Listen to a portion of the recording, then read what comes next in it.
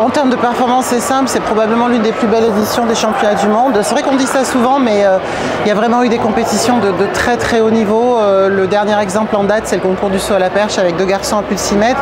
C'est du jamais vu. Quand on pense au sprint aussi, le 200 mètres féminin, le 100 mètres euh, féminin également, très très très haut niveau. Il y a quelques épreuves qui ont été un petit peu en dessous, mais globalement, c'est vraiment une édition énorme. Les coups de cœur, ils sont simples. Ils, vont d'abord vers ma discipline, mais pas parce que c'est ma discipline, tout simplement parce que c'est historique. Donc, euh, et puis elles sont juste derrière moi. En plus, là, on va voir la finale.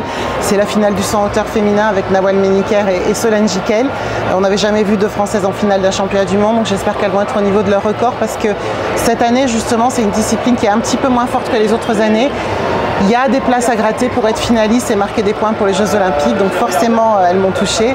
Et puis évidemment, le petit collet, Thibaut Collet, qui, fait, qui sort le gros concours le jour où il faut.